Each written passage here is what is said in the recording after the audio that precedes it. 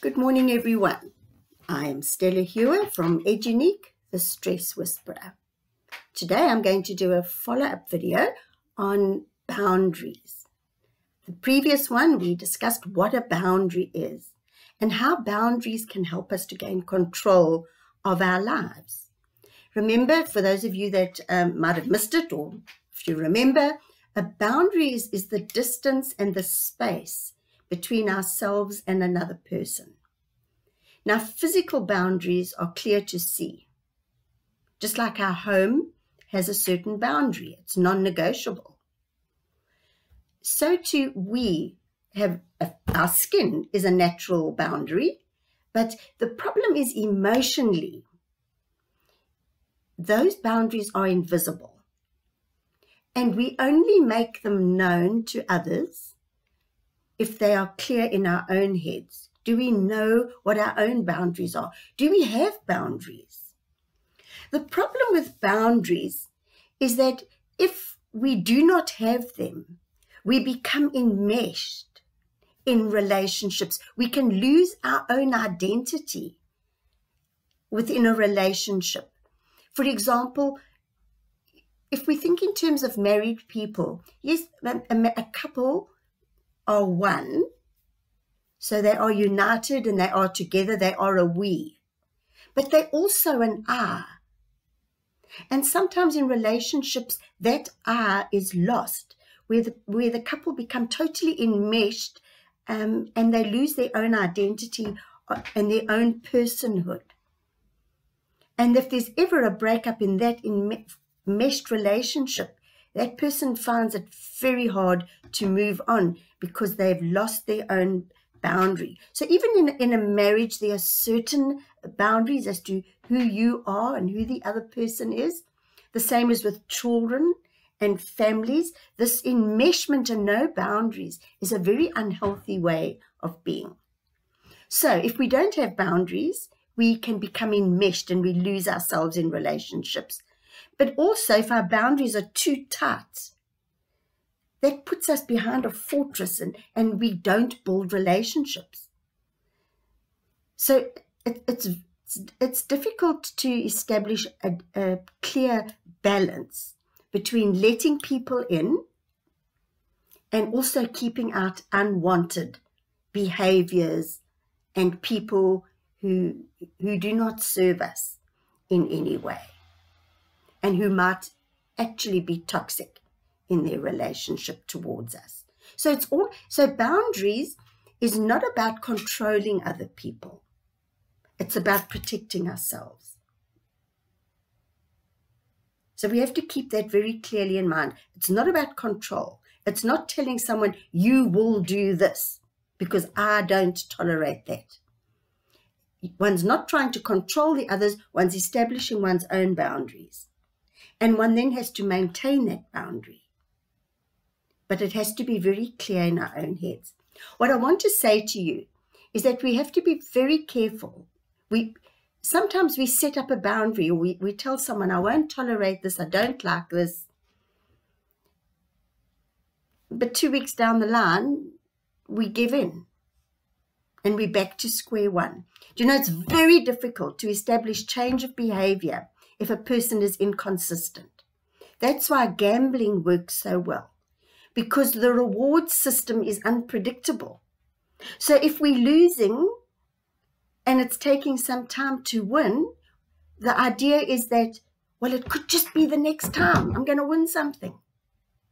And that is why in families, if we keep threatening our children and we don't have consequences and we give in, that inconsistency is is a recipe for reinforcing bad behavior because the person will know they just have to wear you down enough and that you will give in.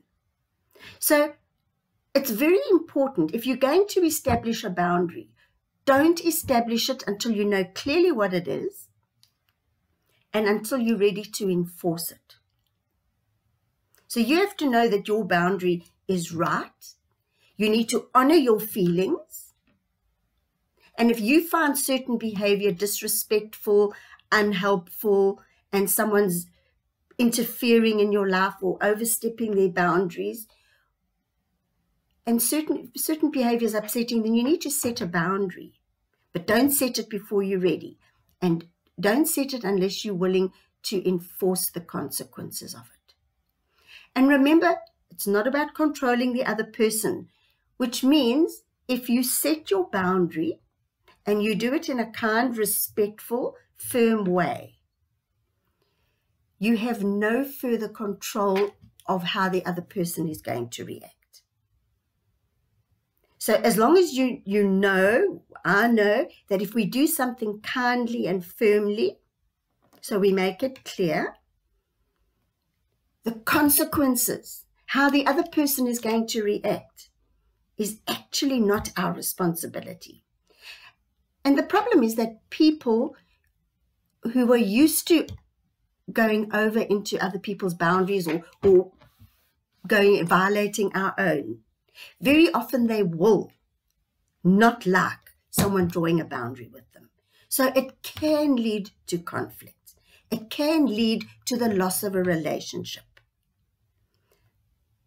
But let that be the other person's responsibility as long as we are just clearly stating what our boundary is. Because if we don't state it, people cannot respect it. And we don't have to stand on, I don't stand on my wall on the perimeter of my property and yell to everyone, This is my wall, don't you dare step over. So it's not about walking around proclaiming our boundaries. But if someone violates them, then we should really speak up right there and then. And I know this is hard. This is something I've had to learn. I've had to learn to do. Sometimes it's taken years to have the courage to to really confront someone or to or to stipulate what my boundary is because it's so easy just to be overwhelmed and to allow oneself to feel disrespected and to sit with those bad feelings because we don't want to hurt someone else's feelings. So it's about protecting ourselves and it's about saying something kindly but clearly. For example, a boundary setting could be if someone's telling off color jokes and it's not your scene, is to say, I really don't enjoy um, off color jokes. If someone's yelling at you, you could say, I'm willing to discuss this when you stop shouting at me. I, I can't listen when you're shouting at me. And if the person continues to shout, you can't stop them shouting, but you don't have to be there. You can walk out. So you're reinforcing your boundary. I'm not talking about this. Um, I will discuss it when you stop shouting and when we can have a reasonable conversation. That's it. And then you use your feet to vote.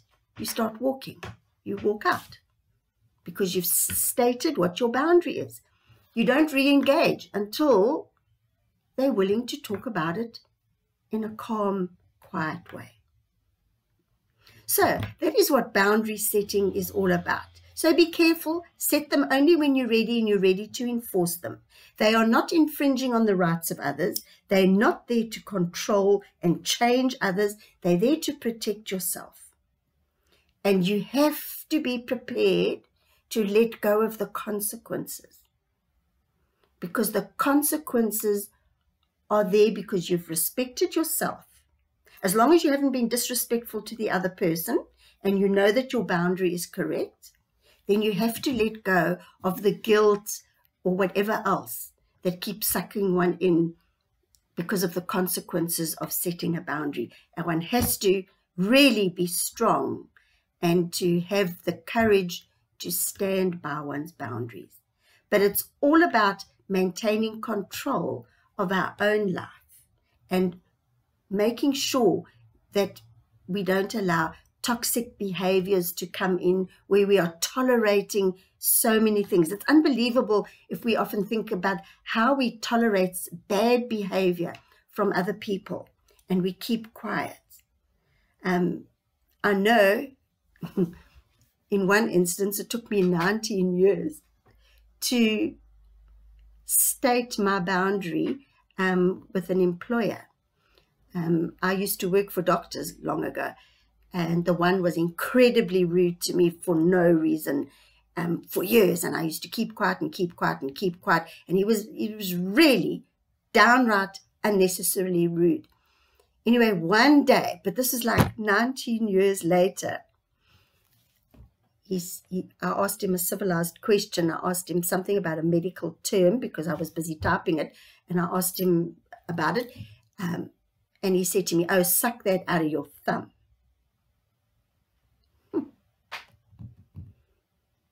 So I sat there for a while and then I thought about it and I thought, today is the day. Because that remark, I, I wasn't caught doing anything wrong. I was asking something in the line of my work. It, that was outrightly rude. There's no explanation for it or justification. So I sat and I breathed deeply for a while and gathered my courage and realized no, out of self respect for myself, that is unacceptable behavior. And I've been tolerating it and allowing it, and that's a boundary violation. Even though that person was my boss. So what I did was I walked into his room. Um, I walked up to his room, knocked on the door, and asked if I could come and talk to him.